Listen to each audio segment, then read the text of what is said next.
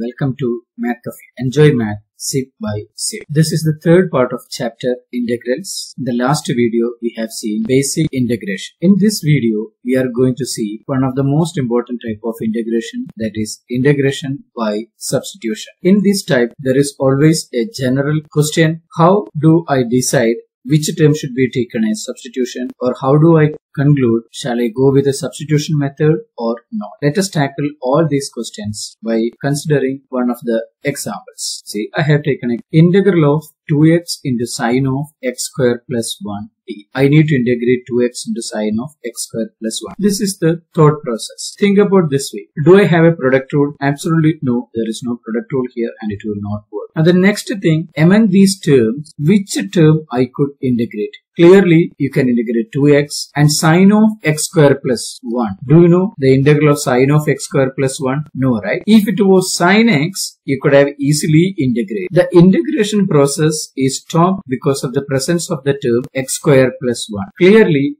this term x square plus 1 is stopping you from integration. There is the catch. The term which stops you from moving forward clearly gives the idea that term must be taken as a substitution. Now we consider x square plus 1 could be the substitution.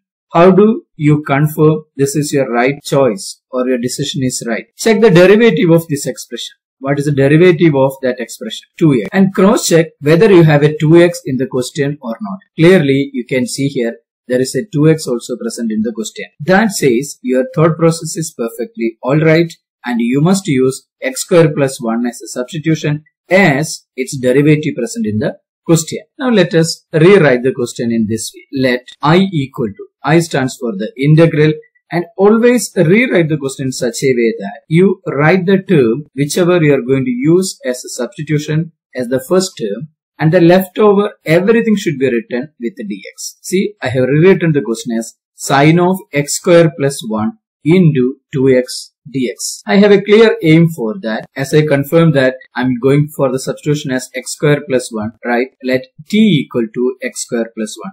Differentiate that with respect to x dt by dx is equal to what? 2x. Now this you can written as dt equal to 2x dx or straight away you can write this as you are differentiating t with respect to x dt will become 2x dx. Now this is the secret I told you to write separately this 2x dx.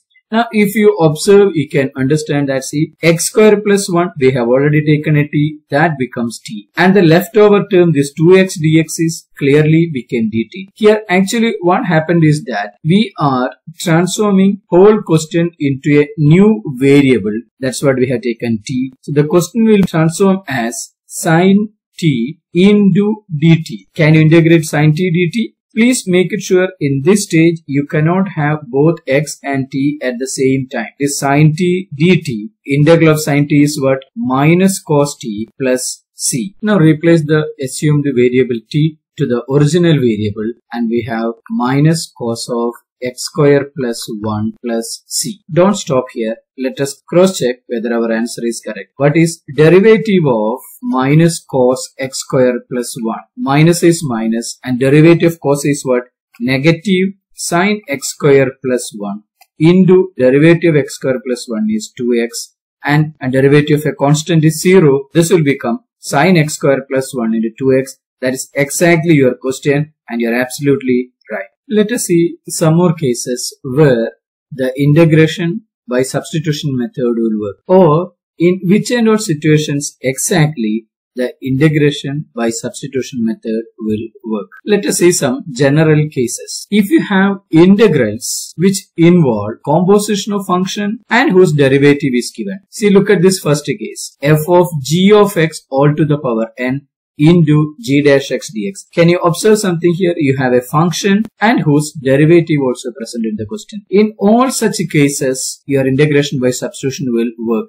See here another example cos of gx into g dash x or sine of gx into g dash x e raised to g of x into g dash x. In particular, you will have a function or a composition of functions and its derivative will be always present. For example, you will have a question of this form sine of e raised to x into e raised to x dx or tan of sine x into cos x dx. See, such cases we always use integration by substitution. What you need to identify is that which term is a function and whose derivative is given. Generally by looking you can understand which term is function and whose derivative is present. That will help you to take the decision on the substitution term. Let us see some more cases. This is the other cases. You have integral of g dash x dx by f of g of x all raised to n and g dash x dx by f of g of x. This is also somewhat the same cases. but your point is to identify the function part and whose derivative. Once you get the question, you need to read carefully and to identify which term is the function and whose derivative is present in the question. Let us see the second example. Integral of log x whole square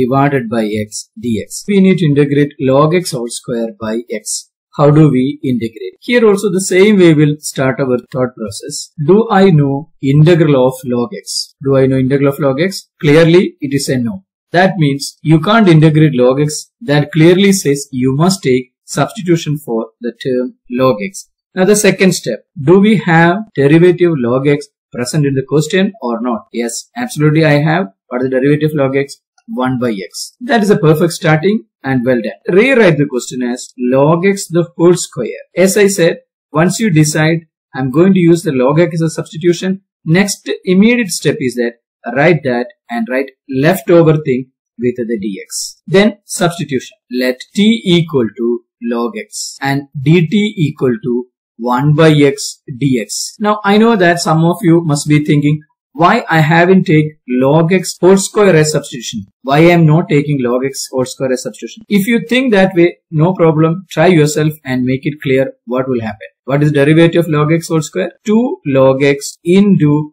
1 by x dx. Now if you observe log x whole square you taken as a substitution and you are left with 1 by x dx but your derivative is becoming 2 log x into 1 by x dx. That clearly says we are missing 1 2 log x and again it will become more complicated terms. We use only t as log x. Absolutely its derivative 1 by x dx is there. Log x can be replaced by t and 1 by x dx can be replaced by what? dt. Therefore the integral is reduced as t square dt. A word of caution, please never write integral t x dt etc together. You cannot integrate two variables at a time at this level. Don't try to write t, x and dt at the same time. No sambar, no kichadi. It should be always with one variable alone. Clearly, the x variable we have totally transformed to a new variable t. So the integration should be involved only with a single variable. Now, what is integral of t square? t raised to 2 plus 1 by 2 plus 1 Hope you remember the formula integral of x raised to n. Integral stands for i. So it keep increases 1 at a time. So 2 plus 1 by 2 plus 1. That is i equal to t cube by 3 plus c. Replace the t that was log x. So log x whole cube by 3 plus c that's our answer. Again, please confirm. We differentiate and confirm whether our answer is right or not. 1 by 3 into what is derivative of log x whole to the power 3? 3 times log x whole square into derivative of log x is what? 1 by x and derivative of c is 0. That's I'm not writing. 3 and 3 got cancelled. So log x whole square by x. That's what our question. Please try to differentiate and always try to confirm that you are right. That confirms two things. Your integration part is thorough and automatically the differentiation also becoming thorough. Let us see the third example. Integral of cot x log sin x dx. Again, just like as I said in the previous case, we will start thinking like this way. Do I know integral of cot x or integral of log sin x? Clearly log sin x integral we haven't seen and that clearly says what you must use log sin x as substitution. That's perfect. First step is alright. You got the 10 on 10 on that part. Now the second step. What is derivative of log sin x? 1 by sin x into derivative sin x is what? Cos x. See cos x by sin x is what? Cot x. Perfect. We have a cot x there. Log sin x is going to be changed to the new variable t and cot x dx will become what dt. Rewrite the question as, as I said, log sin x into the leftover terms all with dx, cot x dx. Let t equal to log sin x and differentiating dt equal to 1 by sin x into cos x into dx. dt is cot x dx. Now let us see the terms log sin x is becoming t. Here I can replace log sin x as t and see the next term that is cot x dx. What is cot x dx? dt. Therefore, the question will be changing as i equal to integral t into dt. What is integral of t? t square by 2 plus c. Now let us substitute to the original variable. Instead of t, we'll write log sin x. So half log sin x whole square plus c that's our answer. Let us cross check the answer. Half into differentiating. 2 into log sin x into. What is derivative log sin x? 1 by sin x into. Derivative sin x is what? Cos x and plus derivative c is 0. Half and 2 get cancelled. Cos x by sin x is cot x. We get log sin x into cot x and that's what the question. We are absolutely right and we have done the question correctly and you secured the idea as well as the marks. Let us consider the next question. Integral of tan raised to 4 root x into sec square root x divided by root x dx. Oh god, so many terms, right? 1, 2, 3. How do I integrate? Don't get panic. It's simple question. An important question came in the board exam. First thing, out of these three terms, which term you could integrate and which term you can't integrate. You think that way, you got the answer. See clearly here, you can integrate root x and you can integrate sec square, but you can't integrate tan. That gives the clear idea of choosing substitution as what? Tan. We know that we can't integrate tan, so take tan root x as substitution. Now think about like this. What is its derivative? What is derivative of tan root x? sec square root x into 1 by 2 root x. And you have a sec square root x and there is a root x. But there is a shortage of 2. That doesn't matter. We have confirmed that we are going to use tan x as the substitution. So rewrite the question as i equal to. As I said, take the term whichever you are planning to use as substitution as a single. Leftover every term should be written with the dx. So sec square root x into dx. Now substitution. Let t equal to tan root x. Please don't think about of using tan whole raised to 4 root x as a substitution and that will not help you to complete the question because tan raised to 4 root x will give you 4 tan cube x root x into sec square root x into 1 by 2 root x and these terms are not having their see you have already sec square root x and root x only there. Derivative of t will be dt and tan as we have seen already sec square root x into 1 by 2 root x dx. Now compare again. See tan can be replaced by t. So this will become t to the power 4 and sec square root x by root x dx we have. But there is an extra 2 here. How do we remove this 2? Please cross multiply to left side. 2 dt equal to what? sec square root x by root x dx.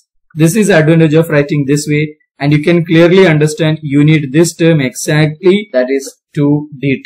Therefore, i becomes integral of t raised to 4 into 2 dt. That's equal to 2 into integral of t raised to 4 dt and t raised to 5 divided by 5 plus c. Integration stands for i, i means increasing. So t raised to 5 by 5 plus c. Now replace the original variable t means tan root x all to the power 5 plus c or 2 by 5 tan raised to 5 root x plus c. Once again you differentiate and cross check whether you are correct or not. 2 by 5 5 tan raised to 4 root x into sec square root x into 1 by 2 root x and c gets cancelled. So 2 get cancelled and 5 also get cancelled. The leftover is your question and absolutely you are right and you got the right answer. Let us see the next example. Integral of cos x into sine of sine x dx. And clearly here also see sine of sine x we can't integrate. We have to choose this sine x as a substitution. We write the question as i equal to sine of sine x into the leftover terms that is cos x